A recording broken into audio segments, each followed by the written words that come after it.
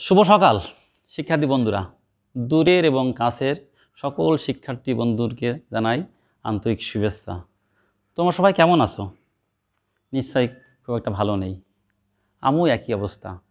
কারণ বর্তমান বিশ্বে যে করোনা ভাইরাস সারা বিশ্বকে বিপর্যস্ত করে তুলেছে, তার অংশ হিসেবে আমরাও সেই অবস্থায় আছি। তো আমরা এই অবস্থা থেকে উত্তরণের জন্য শিক্ষার্থী বন্ধুদেরকে কিছু কার্যক্রম হাতে নিয়েছি, তাদেরকে কিছু শিক্ষা দেওয়ার জন্য। সেই অংশ হিসেবে আমরা আজকে এই আমার উপস্থিতি। তো বন্ধুরা, আমার পরিচয় আছে। আমি সুনীল কুমার খা, প্রভাষক, ভূগোল পাশাবল আমজামতলা, মডেল কলেজ, চৌগাছা, যশোর, বাংলাদেশ। তো আমরা আসি ভূগোল বিষয়ে কিছু সাধারণ আলোচনা করি। ভূগোল কি? ভূগোলের উৎপত্তি কোথা থেকে হয়েছে? এবং এই শব্দটা কে ব্যবহার করেছে প্রথম? এবং কীভাবে আমরা এখন লেখাপড়া করছি এই বিষয় সম্পর্কে, সেই বিষয় নিয়ে একটু সাধারণ আলোচনা। প্রথম আসি ভূগোল কি? ভূগোল একটি বাংলা প্রতিশব্দ বাংলা শব্দ। এর প্রতিশব্দ হচ্ছে ইংরেজি জিওগ্রাফি। এই জিওগ্রাফি শব্দর দুটি গ্রিক শব্দ, জিও এবং গ্রাফোস। জিও অর্থ পৃথিবী, আর গ্রাফোস অর্থ হচ্ছে বর্ণনা। তাহলে দাঁড়াচ্ছে আক্ষরিক অর্থে পৃথিবীর বিবরণ বা বর্ণনা। এবার আসি আমরা, এই শব্দটি কে, কোথা থেকে উৎপত্তি হলো ডিকিনসন আজ থেকে দু হাজার বছর আগে তিনি এই ভূগোলে আনুষ্ঠানিক আলোচনা সম্পর্কে আলোচনা করা হয়েছে, এই সম্পর্কে তিনি দিক নির্দেশনা দিয়েছিলেন। পরবর্তীতে গ্রিক দার্শনিক অ্যাটসিনিস আজ থেকে দুশো বছর আগে তিনি এই ভূগোল সম্পর্কে, অর্থাৎ তিনি এই ভূগোল জিওগ্রাফি শব্দটি ব্যবহার করেছিলেন। এবং তিনি তো বলেছিলেন যে, আবাসভূমি হিসেবে পৃথিবীর বর্ণনা আছে ভূগোল। এরপরে আরও অনেক ভূগোলবিদ এই ভূগোলটাকে আরও আধুনিক অবস্থায় নিয়ে গেছেন।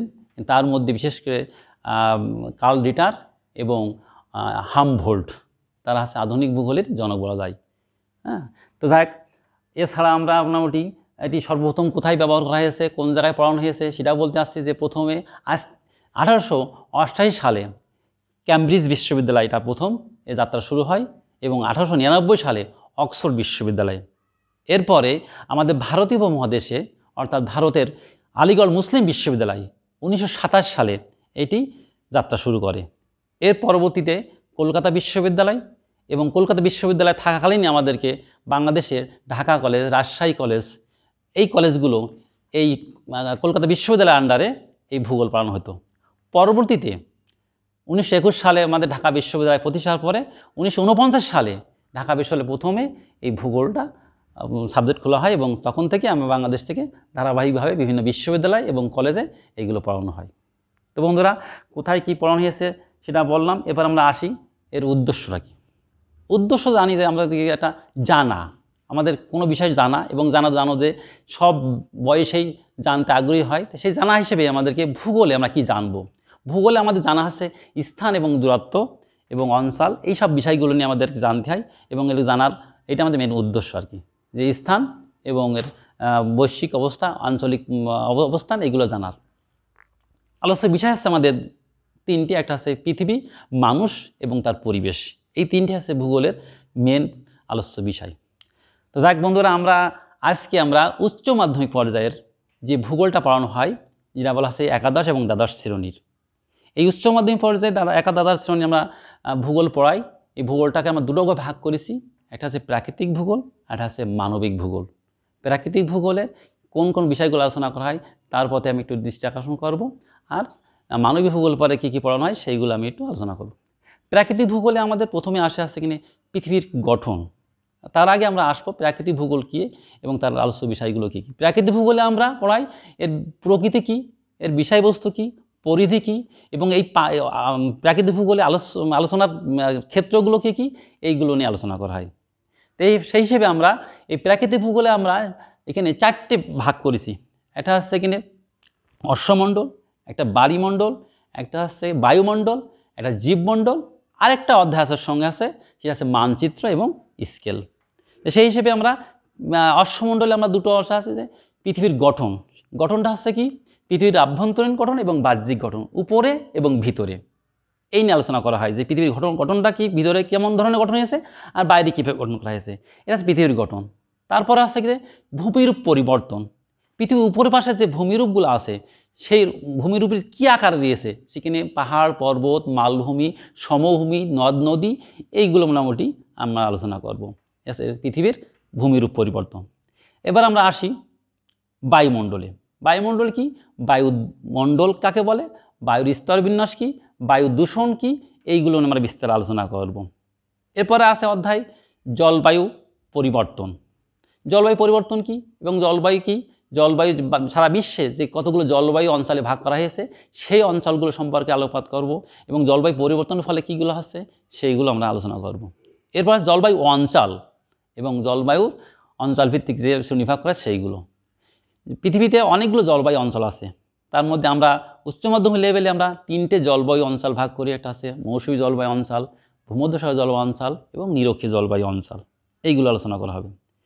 এরপর আমরা আসব বাড়িমণ্ডলে বাড়িমণ্ডল সেখানে প্রথমে অধ্যায়ে, প্রথমে আসে পানির বাড়ির উৎস, অর্থাৎ পানির উৎস, কোথা থেকে ওই পানি আসছে, এবং সেই পানিটা সারা বিশ্বে যে বন্টন আছে, কোথায় কোন অবস্থায় আছে, বিশেষ করে এখানে যে মহাসাগরগুলো আছে, পাঁচটি মহাসাগরগুলো আছে, এবং আরও অনেক সাগর উপসাগর আছে, সেই সাগরে কী পরিমাণ পানি আছে, সেই পানিগুলো কীভাবে কোথার থেকে কোথা যাচ্ছে, সেইগুলো আমরা বিস্তারিত আলোচনা করব।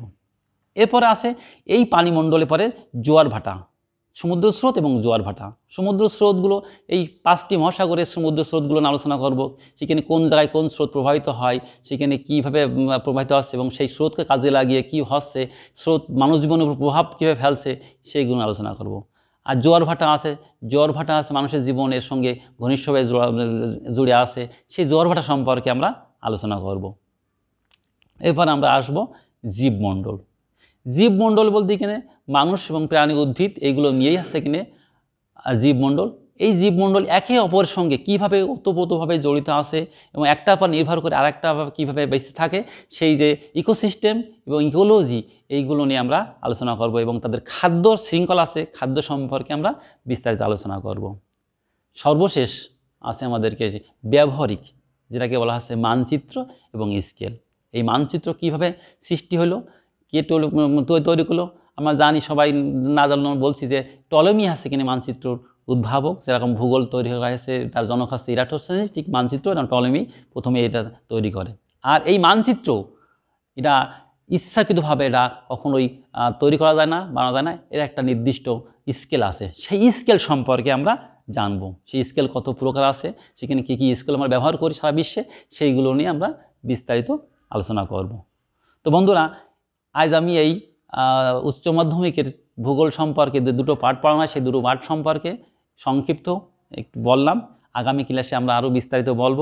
তো সর্বশেষ একটু দুঃখর কথাই বলি, আবার সেই ফিরে জাতীয় কোভিড নাইন্টিন যেটা আমাদেরকে অনেক খারাপ অবস্থার মধ্যে ফেলে দিয়েছে, যা আমরা স্বাভাবিক জীবনযাপন করতে পারছি না। ওর সঙ্গে আরও যুক্ত করে যাই বর্তমান যুব সমাজ এবং মাদক। এই মাদক আজকে আমাদের বাংলাদেশে গোটা গোটা পৃথিবী তাহলে আমরা বাংলাদেশে নিয়ে ভাবি, বাংলাদেশে আজকে মাদকে আজকে ভরে গেছে, যুব সমাজ ধ্বংস হয়ে যাচ্ছে। এই যুব সমাজকে রক্ষা করতে গেলে কি করতে হবে? সরকার একা পারবে না, আমাদের সামাজিকভাবে এই যুব সমাজকে রক্ষা করার জন্য আন্দোলন করতে হবে, তারা যেন এই মাদক সেবন না করে। এর থেকে রেহাই পেতে গেলে একমাত্র সামাজিক আন্দোলন আর ব্যক্তি সচেতনতা এইগুলোই পারে এটাকে রক্ষা করতে। তো ঠিক আছে বন্ধুরা, আজ এই পর্যন্তই থাক। আগামী দিন আবার দেখা হবে। যদি ক্লাসটা একটু ভালো লাগে, তাহলে সেটা না বললেও হবে, তবে খারাপ যেগুলো লেগেছে, সেগুলো অবশ্যই যেন কমেন্ট করে একটু জানাবেন। তো সবাইকে নমস্কার জানিয়ে আজকের এখানেই সমাপ্ত করতে করছি।